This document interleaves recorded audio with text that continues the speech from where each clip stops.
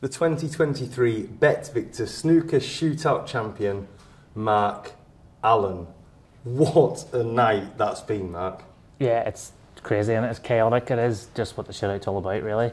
Uh, but you always feel if you can get into that final session on the last day, that last 16, everything happens so quickly, and after that, you can get on a bit of a roll. So, yeah, if you just get into that last session, you, you feel like all those 16 players has a good chance of winning. So, I'm glad to come out on top. And 10 years after you last reached the final, now you've gone and won it. Is it sort of a box ticked off for you? Is it, is it another event? Because you've, you've won so you know a lot of the premium events, the UK's, the Masters. You won the Home Nations, of course, at the Northern Ireland Open twice. Is this another box ticked for Mark Allen? Okay, it's a box ticked in the sense that at the end of the tournament, and I won the tournament. No, that's what I want to do every time I enter one. So I'm not going to put it anywhere near like the likes of the Masters of the UK or Northern Ireland or things like that. That's you know, be realistic about where the, the event is on the sort of grand scheme of things. But I still want to win the event. I wouldn't enter if I didn't. So uh, I'm happy to you know tick that box as you say. But it is quite an important one for you in the grand scheme of the season because you weren't qualified for the World Grand Prix before you came here.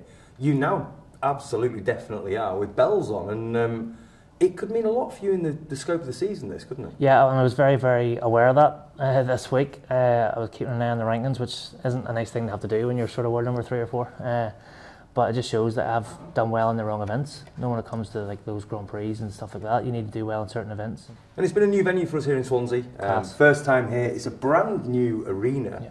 The crowd have been spectacular, haven't they? Honestly, it, I was a little disappointed on Wednesday because the ticket sales hadn't went well too well. It was a little quiet, but today was absolutely nuts. It reminded me of when we first played in Blackpool because that was, in my opinion, the best shootout venue. This is right up there for me. It was unbelievable there today crowd got noisier and noisier as the day went on. There was a few abusive things thrown at me as the night went on, which were great fun. You have to you have to just embrace that.